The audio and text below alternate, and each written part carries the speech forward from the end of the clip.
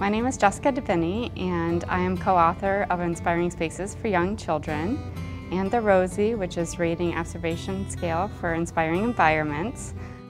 The ROSIE starts with sprouting, budding, and blooming. So you have the opportunity to rate your classroom and then see where you're at and it gives you certain examples that you can actually expand upon and it'll help you focus on where you need to add different things to the environment.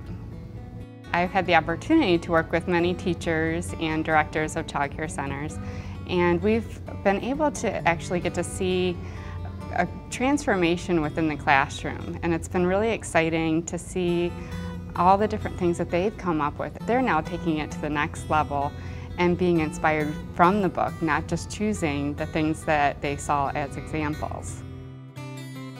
I think that the seven principles uh, for designing a, a, classroom are really, really important and I think that teachers can use them in many different ways. I think regardless of a teacher or a center's philosophy, I think that they can apply some of these strategies and concepts to the classroom to enhance not only aesthetically the, the beauty of the classroom, but also the purpose.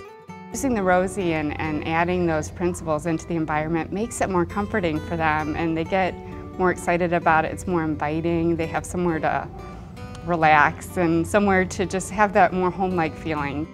I would recommend these two books to anyone who has a child and wants to redo their space and their environment.